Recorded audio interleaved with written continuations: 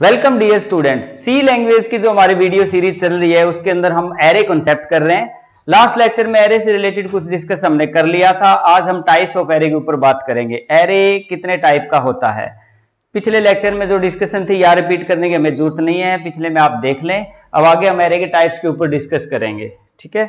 Array जो होता है, वो हमें पता ही है। हमने लास्ट लेक्चर में ये डिस्कस किया था कि होमोजीनियस डाटा एलिमेंट का जो कलेक्शन होता है वो आपका एरे कहलाता है। मल्टीपल एलिमेंट्स को एक जगह स्टोर करने के लिए सिंगल वेरिएबल में आ, वो हम एरे का यूज़ करते हैं। जैसे कि ए टेन लिया था हमने उसमें दस वेरिएबल एक साथ हो गए ए के अंदर ही और उनमें टेन वैल्यूज़ अलग अलग हमने स्टोर करके देखी। अब हम उस कॉन्सेप्ट को आगे बढ़ाते हैं। अब आ, बात आती है हमारे types of array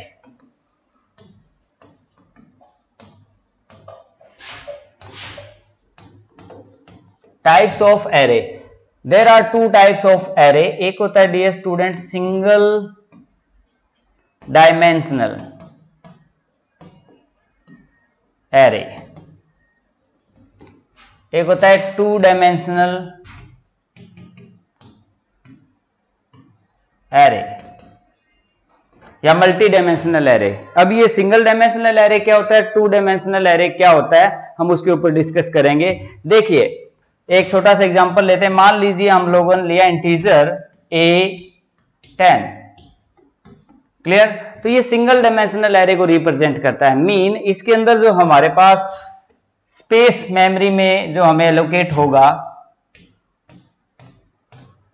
A zero location A one location up to A nine location तो ये हमारे पास जो है मेमोरी लोकेशन अवेलेबल हो गई। मतलब ए ज़ीरो पे कोई वैल्यू डाल देंगे मान लीजिए हम 10 डाल देंगे ए वन पे, मान लीजिए हम 20 ए थ्री पे 30 कुछ भी ए नाइन पे हम मान लीजिए डाल देते हैं 100 तो मीन इस डायमेंशन सिंगल एक कॉलम के रूप में अगर हमारे को डाटा की लोकेशंस अवेलेबल होती हैं, जिसके अंदर हम सिर्फ़ एक ही डायमेंशन में डाटा स्टोर कर सकते हैं, वो आपका कौन सा हो गया? सिंगल डायमेंशनल एरे अब टू डायमेंशनल की अगर हम बात करें, इसके अगेंस्ट टू डायमेंशनल मान लीजिए हमने लिया ए थ्री और थ्री ये.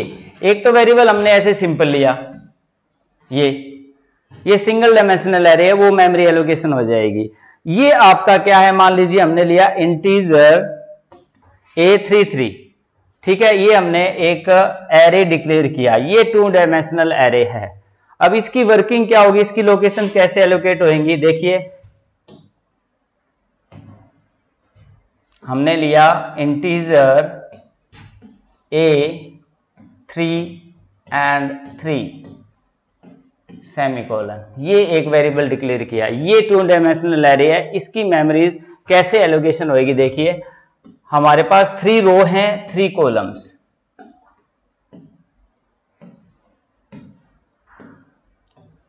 इस हिसाब से। Three row and three column ये फ़र्स्ट फ़र्स्ट है, ये फ़र्स्ट सेकंड ये first third second first second second second third और आपका थर्ड फ़र्स्ट थर्ड सेकंड और थर्ड थर्ड मीन पहली रो का पहला कॉलम ठीक है? दूसरी रो का पहला कॉलम तीसरी रो का पहला कॉलम ठीक है?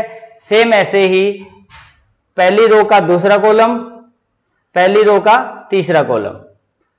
फिर दूसरी रो का पहला, दूसरी रो का दूसरा कॉलम और तीसरी रो का तीसरा कॉलम। तो सेम ऐसे, ये वन वन लोकेशन है। फ़र्स्ट रो फ़र्स्ट कॉलम ये लोकेशन है। इसमें हम कोई डाटा डाल सकते हैं जैसे दस। फ़र्स्ट रो सेकंड कॉलम इसमें हम कोई वैल्यू डाल सकते हैं, मान लीजिए बीस। इसमें टू डायमेंशनल में इस प्रकार से मेमोरी जो है एलोकेट होएगी। अगर हम सिंगल डायमेंशनल की थोड़ा और दोबारा रिपीट करता हूँ मैं आपको इंटीजर लिया, मान लीजिए हमने ए थ्री तो इसके अंदर directly A zero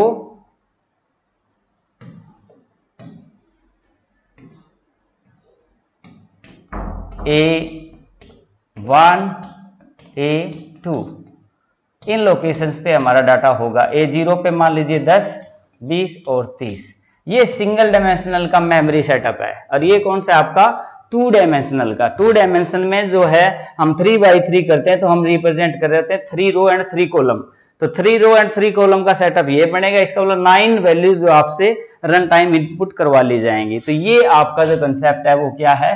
to dimensional array का है। और ये जो आपका है वो क्या है? सिंगल डायमेंशनल एरे का है। ठीक है? तो सिंगल डायमेंशनल एरे में हम लोगों ने कल एग्ज़ाम्पल किए थे प्रैक्टिकली क्योंकि हमारा लैब सीरीज़ चल रही है, इसके अंदर हम प्रैक्टिकली ज़रूर इंप्लीमेंटेशन करेंगे ढंग से, ताकि आप उसको साथ के साथ लैंग्वेज में रन करके देखें। तो एरे है, हर लैंग्वेज में होता है, ठीक है? सेम कॉन्सेप्ट रहेगा तो इसको ध्यान से आप समझें। देखिए, ये सिंगल डायमेंशनल का और ये आपका हो गया टू डायमेंशनल का। अब टू डायमेंशनल एरे को प्रैक्टिकली कैसे इंप्लीमेंट करेंगे, देखिए।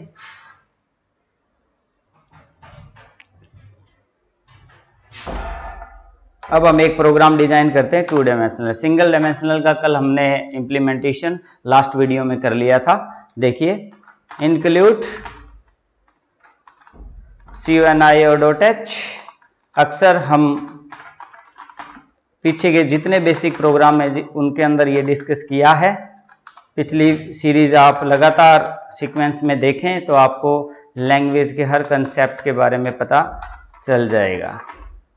तो get C H clear screen this is very basic statements जो आप हर प्रोग्राम में राइट करते ही हैं।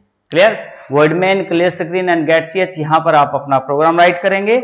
आपने एक इंटीजर डिक्लेयर किया है, ठीक है? Integer A three and three comma एक वेरिएबल ले लेंगे आई एक ले लेंगे जे रो एंड कॉलम को रिप्रेजेंट करने के लिए दो वेरिएबल दिए स्टूडेंट हमने लिए आई और जे। ठीक है? अब हमारे पास नाइन वैल्यूज़ डालने के लिए लोकेशन है। Three row and three column के हिसाब से। ठीक है ना? Three row and three column के हिसाब से हमारे पास जो है एरे हमने डिक्लेयर किया है। अब मीन हमारा मतलब ये है कि वन वन पे कोई वैल्यू डाली जाएगी, वन, टू पे कोई वैल्यू डाली जाएगी, वन, थ्री पे। फिर टू, वन पे, टू टू पे और टू, थ्री पे। थ्री वन पे, थ्री टू पे, थ्री थ्री पे। ये नाइन है, थ्री बाई थ्री का सेट है। तो ये थ्री बाई थ्री का सेट रिप्रेजेंट हो रहा है। अब इसके लिए हम जो कॉन्सेप्ट यूज़ करेंगे, वो आपका है for loop nested for loop हम लास्ट वीडियोस में करके आए हैं नेस्टेड फोर लूप इसीलिए कि आगे जाके हम इन कॉन्सेप्ट को अच्छे से समझ पाए। हम यहाँ फोर लूप के बारे में डिस्कस नहीं करेंगे। लास्ट वीडियोस को आप ज़रूर देख लें। यहाँ पर देखिए नेस्टेड फोर लूप का यूज़ करके कैसे हम ये nine value three row and three column की हम एक्सेस करवाते हैं रन टाइम रीड करवाते हैं। देखिए प्रिंट एफ़ हम एक मैसेज लिखेंगे एंटर वैल्यूज़ जस्ट एक मैसेज है। अब एक मैसेज आ जाएगा एंटर वैल्यूज़। अब वैल्यू स्कैन तो करवाएँगे ना हम। जब भी वैल्यू एंटर करेंगे तो वो कहीं स्टोर होंगे। हमें वो ए थ्री थ्री में स्टोर करवानी है। तो हम एक फोर लूप लगाएँगे। आई की वैल्यू जो है हमारी, क्योंकि आपको पता है ये ज़ीरो से स्टार्ट होता है। I less than equal to two and I plus plus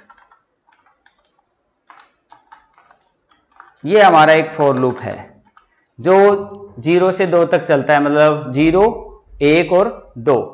clear तो मीन ये जो है आई फ़र्स्ट को रिप्रेजेंट करेगा। आई से हम इसको डिनोट कर रहे हैं।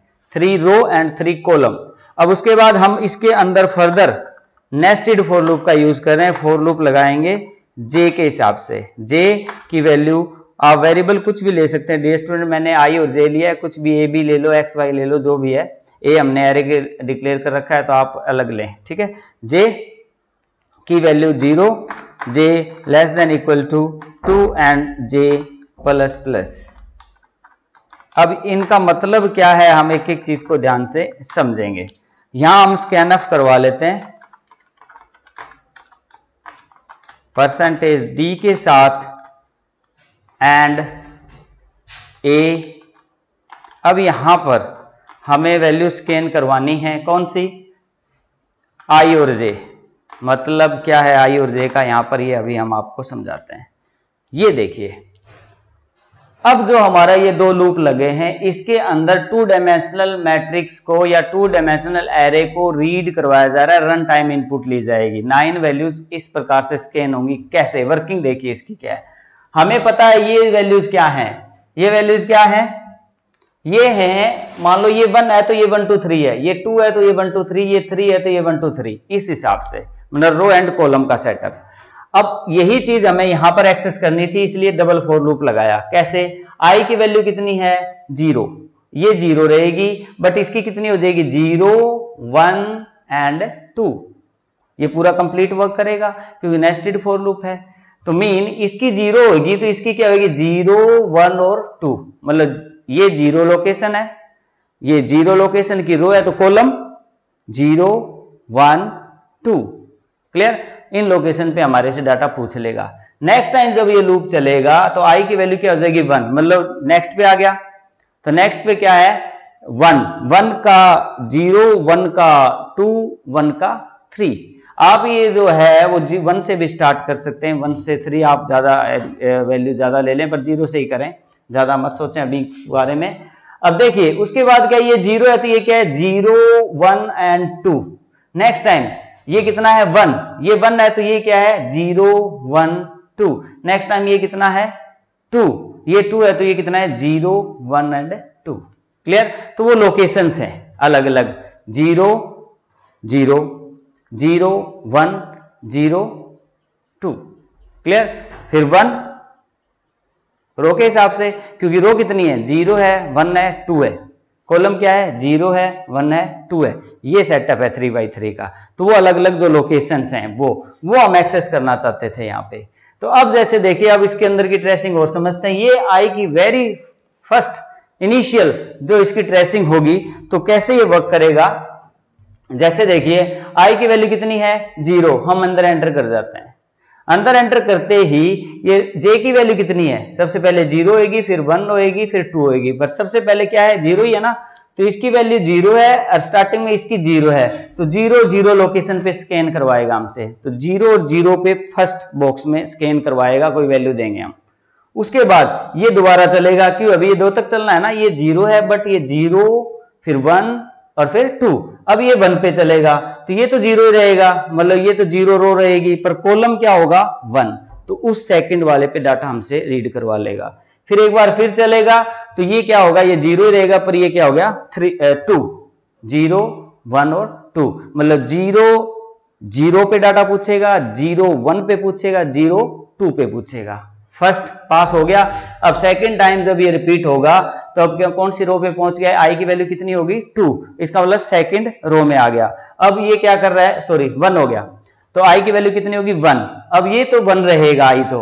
और ये जे क्या होगा? ज़ीरो वन टू इसका मतलब one zero one one one two उन लोकेशन पे डाटा पूछ लेगा।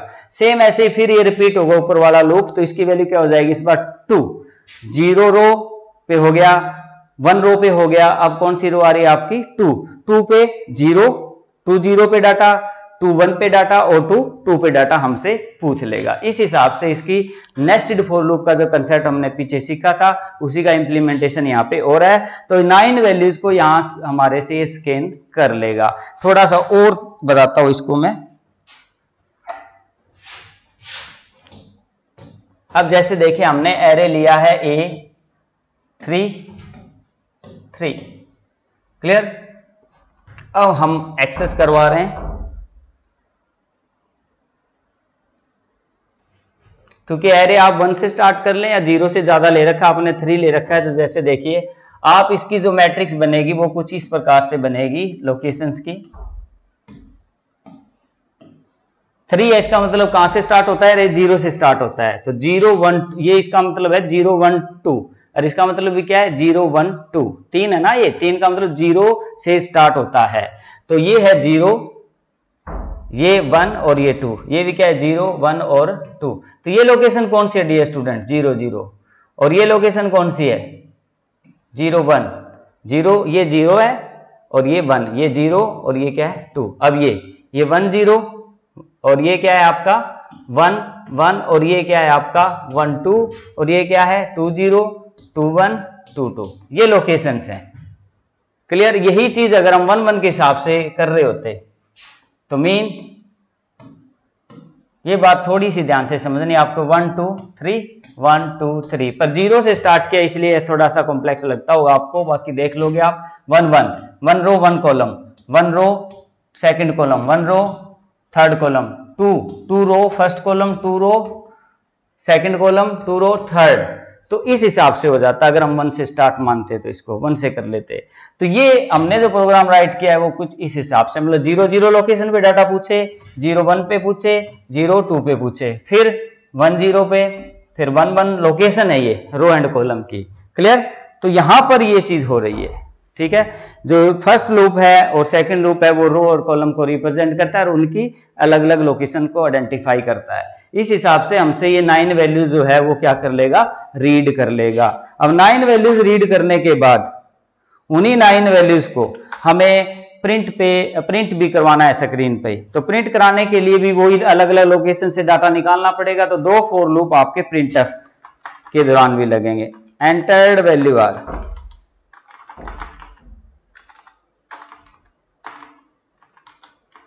जो आपने वैल्यूज़ एंटर की हैं, वो कौन सी हैं? तो हम दो फोर लूप से उनको प्रिंट करवाएँगे। देखिए, ये मैसेज डाल दिया एंटर्ड वैल्यूज़ आर अब इसमें हम फोर लूप लगाएँगे। आई की वैल्यू जिस, जिन लोकेशन पे डाटा डाला है, उन्हीं लोकेशन से हम डाटा निकालेंगे प्रिंट करवाएँगे मीन्स ये एक फोर लूप लगा हमारा रो के लिए, फिर एक कॉलम के लिए। जिस पैटर्न में स्कैन होगा डाटा उसी पैटर्न में जो है वो डाटा प्रिंट करवाना होगा हमारे को। जे की value zero and J less than equal to two and J plus plus okay ये कोड आपके को साथ के साथ इसलिए करवाए जा रहे हैं कि आप भी सिस्टम पे करो तो आप लोगों को दिक्कत ना आए। आप प्रिंट एफ़ कर दीजिए। परसेंटेज डी के साथ। किसको? ए आई और जे को, ताकि हर लोकेशन का एक्सेसिंग यहाँ पर प्रॉपर तरीके से हो सके, इसलिए हमने दो फोर लूप लगाए हैं। अब थोड़ा सा ध्यान से और समझते हैं हम इस बात को। वेरी इंपॉर्टेंट बेसिक प्रोग्राम है टू डायमेंशनल का एक बार समझ में आ गया तो आगे कोई दिक्कत नहीं आनी। Matrix addition subtraction multiplication division जो अर्थमेटिक ऑपरेशन होते हैं वो सारे सी लैंग्वेज में आप इंप्लीमेंट कर सकते हैं। कैसे? अब ये थ्री बाई थ्री मैट्रिक्स को हमने या टू डायमेंशनल एरे को हमने रीड करवा लिया। ठीक है? उन लोकेशंस पे हमने क्या किया? डाटा जो है, वो हमने एंटर करवाया स्कैन करवाया, ठीक है? अब स्कैन की हुई लोकेशन से, जहाँ डाटा हमने डाला, उन्हीं लोकेशन के डाटा हमें प्रिंट कराना है तो हमने दो फोर लूप लगाए, वो इस सेम तरीके के, ताकि zero zero zero zero zero zero location का डाटा प्रिंट हो ज़ीरो वन का प्रिंट हो ज़ीरो टू का प्रिंट हो। नेक्स्ट टाइम चले फिर ये दोबारा तो फिर वन ज़ीरो का प्रिंट हो वन वन का और वन टू का प्रिंट हो। इस हिसाब से जैसे स्कैनिंग हुई है, वैसे ही उनकी वैल्यूज़ को वो प्रिंट करके दिखाए। बट एक चीज़ और चाहते हैं हम। ज़ीरो ज़ीरो का डाटा एक्सेस करे ज़ीरो वन का करे ज़ीरो टू का करे। एक रो का करने के बाद में नेक्स्ट लाइन होनी चाहिए प्रिंट के दौरान। तो ये हम इसमें क्या करेंगे? एक प्रिंट एफ़ डाल देंगे। नेक्स्ट लाइन के लिए लूप चलने के बाद में आपका प्रिंट एफ़ हो। स्लैश स्लैश एन जो नेक्स्ट लाइन का यूज़ है। ठीक है? और हर वैल्यू के अंदर टैब का प्रिंट होता है स्लैश टी का यूज़ हम कर रहे हैं ताकि टैब स्पेस दे दे के प्रिंट हो। मीन हम ये चाहते हैं कि मैट्रिक्स की तरह नाइन वैल्यूज़ जो है वो हमारी प्रिंट हो। मीन क्या है कि सबसे पहले ज़ीरो ज़ीरो लोकेशन का डाटा प्रिंट हो टैब के साथ। फिर टैब दे के, फिर ज़ीरो वन का, फिर ज़ीरो टू का। फिर नेक्स्ट लाइन आ जाए। फिर अगली बार चले, फिर आपका वन ज़ीरो का वन टू का और वन वन वन का और वन, टू का प्रिंट हो विद टैप फिर क्या हो जाए? नेक्स्ट लाइन तो इस प्रकार से मैट्रिक्स की फॉर्मेट में ये हो जाएगा। हम इसको रन करके देखते हैं। एंटर वैल्यूज़ हम डालें one two three one two three one two three अब ये वैल्यूज़ डालनी डियर स्टूडेंट इसने ये ऐसे पूछा है सेकेंड अप में देखो, हमने डबल फोर लूप लगाया ज़ीरो ज़ीरो पे हमने डाल दिया वन फिर ज़ीरो वन पे टू और ज़ीरो टू पे थ्री फिर next next location one zero पे वन टू पे, वो आपके माइंड में इमेज बन जानी चाहिए कि मेमोरी में क्या स्पेस तैयार हो रहा है, ताकि उस हिसाब से, अब उनको वो प्रिंट करवाएगा इस हिसाब से, ठीक है? देख लीजिए मैट्रिक्स के फॉर्मेट में डाटा को, उसने नाइन वैल्यूज़ जो हमने डाली थी उन लोकेशंस पे जो अलग अलग थी, उन्हीं को इसने क्या कर दिया? प्रिंट करके दिखा दिया। थोड़ी फॉर्मेटिंग और कर दी हमने इसके अंदर। स्लैश एन और स्लैश टी की, जिससे किया है कि प्रॉपर फॉर्मेट में ये मैट्रिक्स के रूप में हमारे सामने आ गया। अब इसमें स्लैश एन भी डाल देते हैं ताकि मैसेज के बाद नेक्स्ट लाइन हो तो थोड़ा और इफ़ेक्टिव आ जाए। वैल्यू डालते हैं one two three one two three one two three देख लीजिए। तो नाइन वैल्यूज़ वो स्कैन हुई। डबल फोर लूप से, nine values double for loop से सॉरी प्रिंट हुई और उसमें स्लैश एन स्लैश टी से एक फॉर्मेट दे दिया। तो इसको हम मैट्रिक्स भी बोल सकते हैं कि how to enter matrix using array in C language C language में मैट्रिक्स को कैसे एंटर करवाएँ और कैसे उसको प्रिंट कराएँ। तो मैट्रिक्स को ऐसे एंटर प्रिंट करवाया स्कैन करवाया और उसको प्रिंट करके दिखाया। तो ये आपका जो एग्ज़ाम्पल है वो किस चीज़ का है? टू डायमेंशनल एरे का है। थोड़ा सा ध्यान से आप इसको, मैं दोबारा थोड़ा ट्रेस कर देता हूँ। Clear screen two dimensional array declare किया आई और जे रो कॉलम के लिए लिया। पहले उनको स्कैन करवाया उनकी नाइन लोकेशंस को डबल फोर लूप से, क्योंकि रो एंड कॉलम का हिसाब रहेगा इसमें। फिर उन्हीं को ही, फिर हमने क्या किया? जो वैल्यूज़ डाल ली उनको प्रिंट करवाया है, ठीक है? But slash and slash tick का यूज़ करके ताकि नेक्स्ट लाइन आई तीन वैल्यूज़ के बाद और उनके बीच में टैबिंग भी हो। तो स्लैश एंड स्लैश टिक का हम इसके लिए यूज़ करते हैं। तो डियर स्टूडेंट ये हमारा कॉन्सेप्ट था टू डायमेंशनल एरे कैसे इंप्लीमेंट करते हैं। ठीक है? Thank you very much dear student आप इसको प्रैक्टिकली करके देखें। कोई दिक्कत हो तो बताएँ। थैंक यू वेरी मच जय हिंद, जय भारत।